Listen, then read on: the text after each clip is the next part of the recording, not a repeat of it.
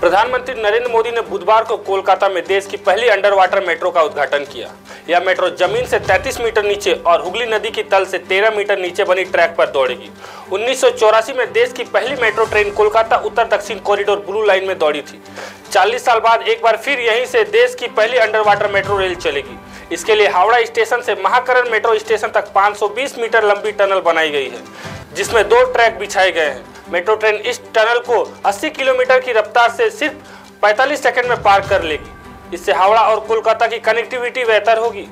रोज सात से दस लाख लोगों का सफ़र करना आसान होगा।